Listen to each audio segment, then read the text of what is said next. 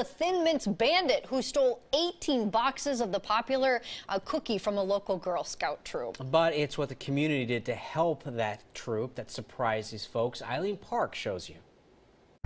Jessica Fox Hawney had only one question on her mind. Who would steal from children? After a busy day Saturday of selling Girl Scout cookies, Jessica and her daughters came back home and left 18 boxes of Thin Mints in the car.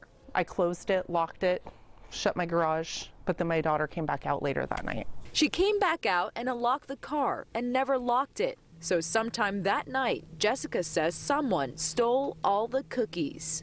It's just so low to steal from kids. So she went on Facebook and vented on her private page.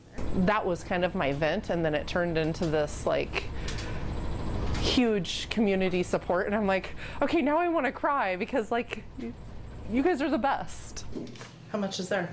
As a third grade teacher in Newberg, she has a lot of parents who are friends with her on Facebook, and many of them reached out. At least 25 people were like, we'll buy two boxes, we'll buy five, we'll buy four.